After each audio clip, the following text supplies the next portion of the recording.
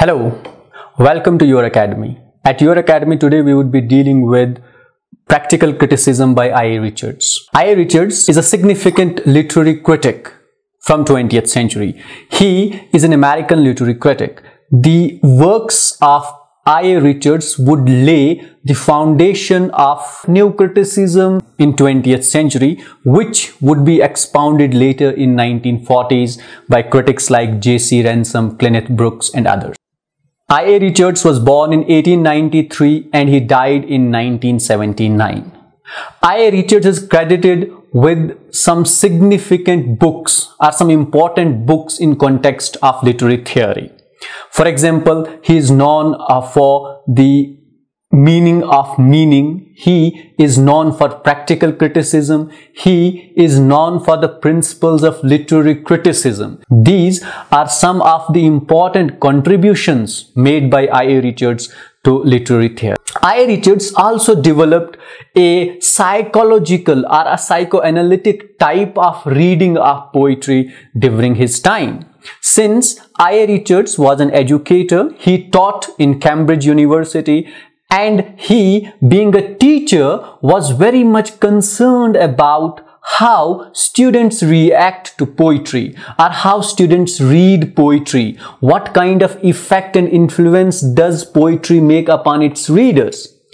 So he wanted to know more about that, that what kind of reading was going on in the world of literature.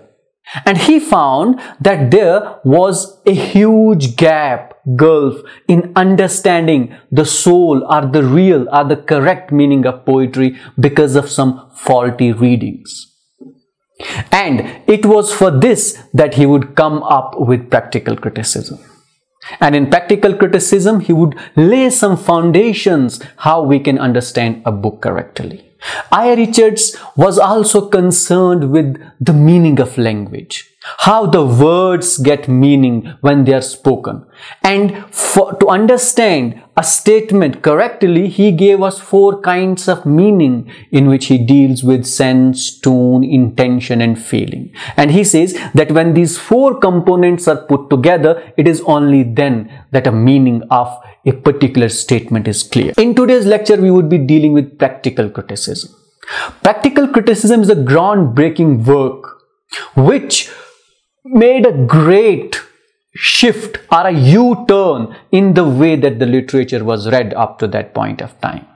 Literature was read in the background of, uh, in the backdrop or in the background of the writer of the historical context of the date when it was written. But when I.A. Richards wrote Practical Criticism, he showed us a different path where a writer never mattered, poet never mattered, date of publication never mattered. What mattered the most was the text in hand.